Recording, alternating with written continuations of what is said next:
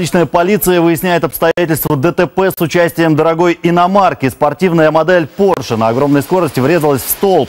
Авария произошла в самом центре Москвы на Большой Якиманке в 7.20 утра. В машине находились два человека, оба скончались на месте. За рулем, как сообщило агентство «Интерфакс», был сын погибшего 6 лет назад в авиакатастрофе губернатора Иркутской области Игоря Есиповского. По предварительным данным, Игорь Есиповский-младший грубо нарушил скоростной режим и не справился с управлением. Удар был такой силы, что Порше разорвало на две части, а тела обнаружили в десятках метрах от места аварии на мокрой от ливня дороге.